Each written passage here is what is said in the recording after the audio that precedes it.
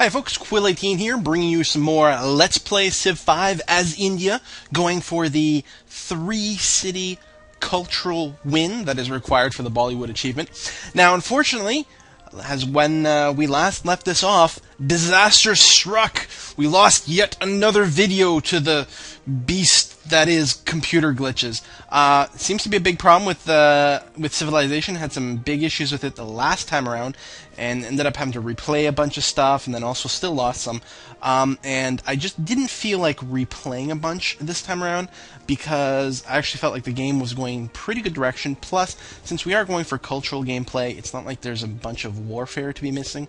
Uh, so I am just going to continue on from where we left off. Now, um, what I some of the issues I believe may have been due to hard drive space. Um, I do tend to stop the recordings before I run out of hard drive space, but in processing the video afterwards, it created a lot of temporary files, and I think what happened is it ran out while doing the processing, which is why the video got cut off partway through. But thanks to an amazing Black Friday sale, uh, I got a brand new 2 terabyte hard drive uh, for my computer uh, very, very inexpensively. And if we just drag this over here, you can see.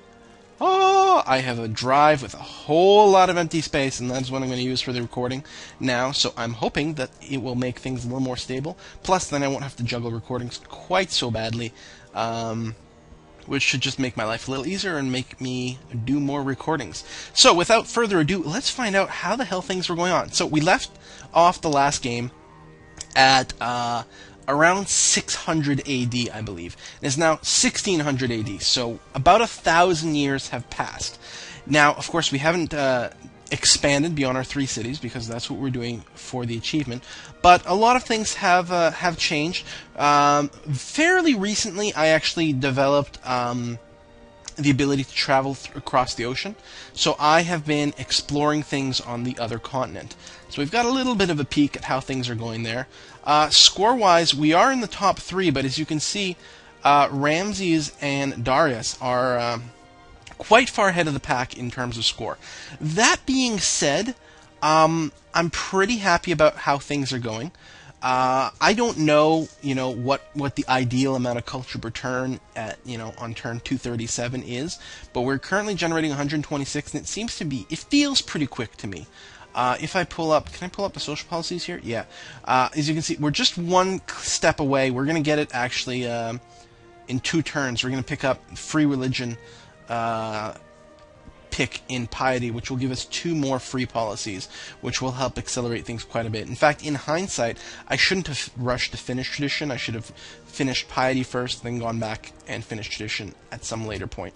Um, we are basically done buying tiles. We do have a whole lot of territory around each one of our cities. We've got all the important resources, especially if I bring up the... Uh... Oh no, I've got the resource icons already. Okay. Um, you can see we've got all the key resources around all of our cities. Everything that we can reach belongs to us. Um, so at this point, I no longer need to buy tiles. There's still a few more that we could pick up, but our culture is such that uh, we're going to probably pick those up automatically, and it's not the end of the world if we don't get it. Um, so as a result, I've got a lot of money to spend, and what I'm also I've got extra money kicking around because I'm continuing to sell my luxury resources time and time again. I and strategic resources. I have so much excess happiness that I can easily afford to do that. So I keep selling them off for, you know, like 300 gold a pop and I keep building up a big economy. So, and I was using that to help me rush buy some tiles, uh, just because even though I did have the culture and it was going to expand, it, it's very important that each one of my cities has all the quality tiles that it uh, needs, so I have been uh, purchasing those. But I don't have to do that anymore. So now my money is finally going into uh, making friends with cultural city states as much as possible. I've just started that, so I've got uh, I've got a few relationships here. Uh, that's neutral, but I've got yeah friends, allies uh, here and there, and I'm picking up more and more of them. Um, they uh, they don't necessarily generate the most culture, but it's not bad. In fact, about maybe it's hard to say because the numbers don't add up right. No, I guess they do. Uh, almost 50%, maybe around 40% of my culture right now is coming from city states. So that is adding up to a lot, and I'm just going to keep packing that on. Uh, let's take a quick look at our overviews here just to see how things are going. Diplomacy, yeah, we've, uh, I don't know if it shows me here. I think this is what they're willing to offer. Um, but uh, we've, deal history, that's just you can see I'm making tons of trades every few turns. I'm talking to everyone, selling as much as I can. Uh, global politics. Here we go. Uh, so you can see Ramses has a lot of world wonders. That jerk. Uh, he's also at war with Genghis Khan, uh, which actually has been really bad on Genghis Khan. For a while, Genghis was actually leading in the score, uh, but then he pissed off the wrong couple of people. I think Catherine and Ramses went to war against him together and did a whole lot of damage. Um, so you can see a few people. Ramses actually has a good amount of social policies going on, so he may be competing for a, a cultured win, and Darius is a good number as well. So there's a little bit of risk there. Um, I, I don't think. I feel like our culture rate's probably going to be okay, uh, and I don't think we're going to lose to another Civ in terms of culture, but there could always be the possibility of losing some other way, especially if we're just not making enough. Um, what else we got? Military overview. Um, yeah, we don't get an a, overview of the strength. but What I've got is uh, just a few forces, but when uh, I do get a new technology, I've been upgrading them, so their strength has been staying up pretty well. Um, either between the, our military or our few alliances, or just because I'm trading so much that everyone likes me that way, uh, we haven't actually gone to war with anyone. I don't think we've even gotten any demands.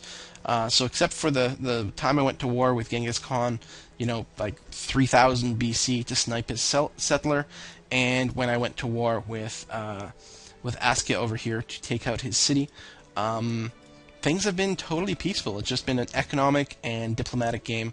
Uh, in fact, in theory, if I make friends with enough city states, I could just win a diplomatic victory as opposed to this uh, cultural route. If uh, if I don't make enough culture, so there's a possible backdoor win that way. Economic in- overview. Um, I guess there's not much to say here. You guys can pause and look at those if you're really interested. Victory again, not a whole lot that's showing here. One person did die. Um, it doesn't show them up any here, but someone on the other continent actually got killed off. Um, demographics. So uh, we're actually really quite high up in terms of population. Only Darius has more people than we do. Uh, so our cities are quite large. Um, this is food production, uh, gold production, land. We're not doing too hot, but that's obvious. Soldiers were only in fourth place. We're decidedly middle of the pack. Uh, so we may want to consider upgrading our military a bit. Approval, we're number one. Every, our civilization is happy. We've actually gotten a few golden ages. Just finished one actually, and uh, really been taking advantage of that. And literacy second. So this is uh, this is based on your science rate, I believe. So we're pretty good. Again, Darius. Darius is number one in most categories, so he's definitely the threat. Um, but it's not like we're going to go to war with him. We simply don't have the means to maintain that big of a military. So, yeah. Uh, oh, let's check the science, and then we will start actually playing. Currently going towards scientific victory. As you can see, there weren't a lot of texts open. Um, or did I say scientific victory? Scientific theory is what we're going for. Um, and we're going to pick up gunpowder next. I don't remember why. I think that I had that queued up. I think the interest is just uh, upgrading my military a tiny bit because they're a little outdated. So we'll pick up the musketmen and do a few upgrades, and that should hopefully help. Uh, beyond that, the next cultural um, building is not for a little while away. Uh, unless I'm thinking incorrectly here. Like, there's wonders, of course, that give like one culture each, generally speaking, but it's a lot of maintenance or a lot of uh, production to put into something that only produces uh, one culture per turn. Um, and some of these cult- uh, these wonders really don't make sense for such a small empire. Like the Statue of Liberty actually sounds quite good, but uh, it's the sort of thing that seems to scale up really well if you've got many cities. So I'm not 100% sure. But the uh, radio here, okay, yeah, we're queued all the way to radio. The you can see the numbers now. Uh, we can pick up broadcast tower, which doubles our culture per turn in a city. Obviously, very very huge. And uh, the Cristo Redentor, also really really good.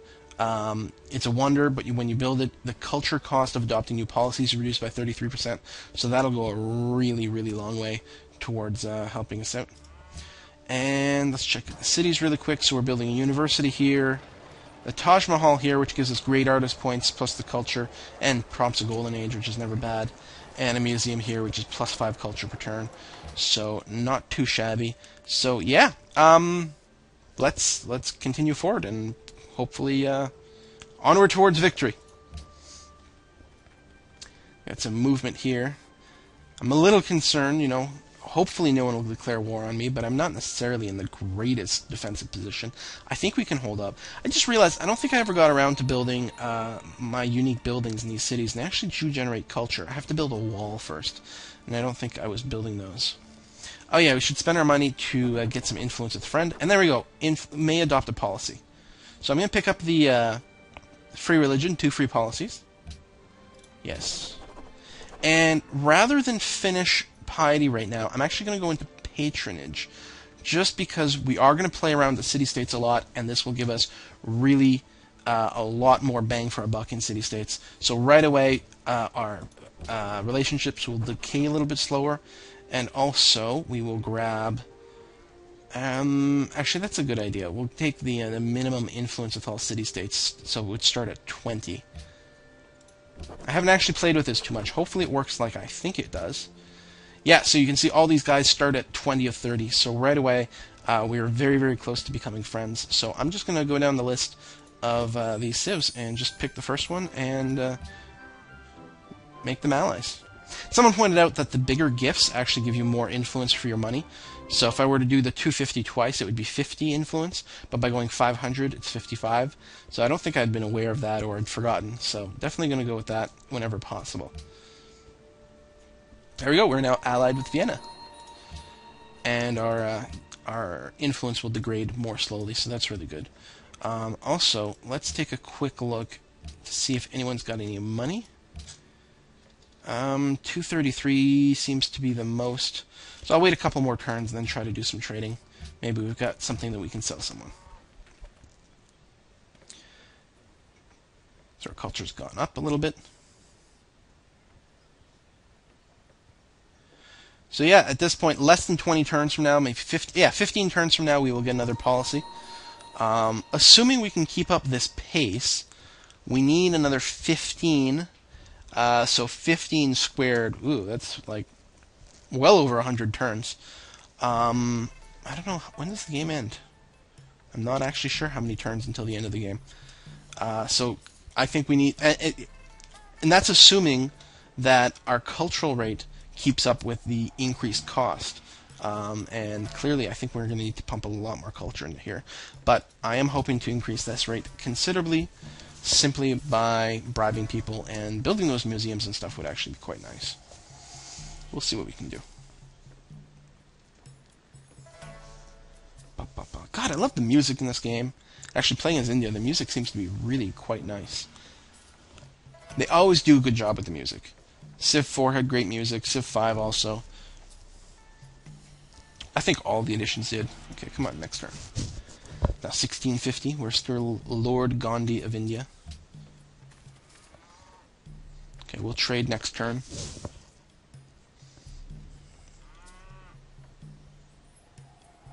Bangalore is about to grow, which is nice.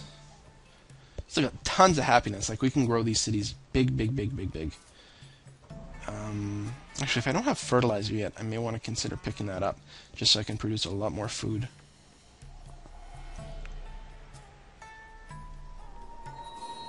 Just met Edinburgh. Uh, so we get a little bit of gold. This is militaristic. Okay, that's fine. Where are they? There they are. Hello. Alright, let's check the gold situation. There we go. Catherine